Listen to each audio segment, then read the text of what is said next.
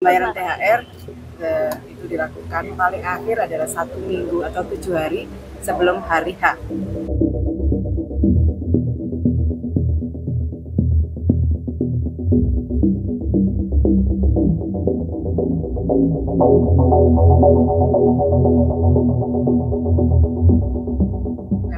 keluarkan surat edaran untuk para gubernur yang diteruskan kepada para pengusaha.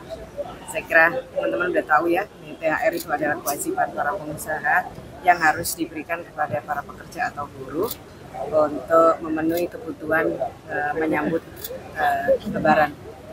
paling lambat dua minggu sebelumnya pembayaran THR eh, itu dilakukan paling akhir adalah satu minggu atau tujuh hari sebelum hari H.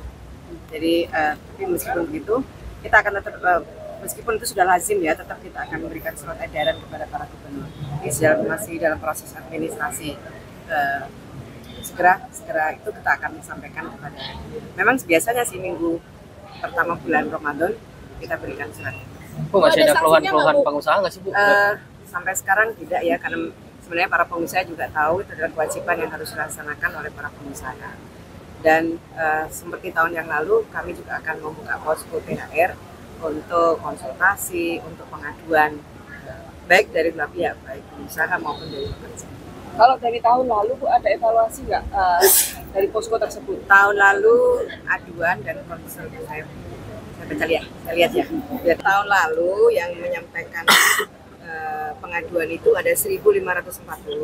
Dari 1.540 itu ada 514 data yang tidak lengkap. Eh, tidak, tentu kalau datanya tidak lengkap tidak kita proses.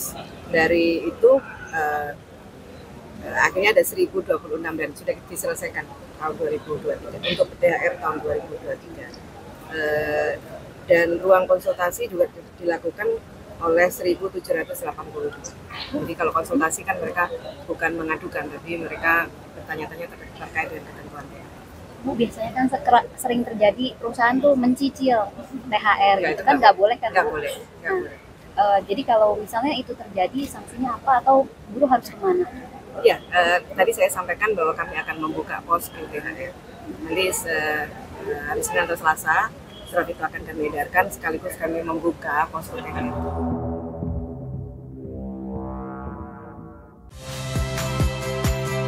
Saya, My Sister Tarigan.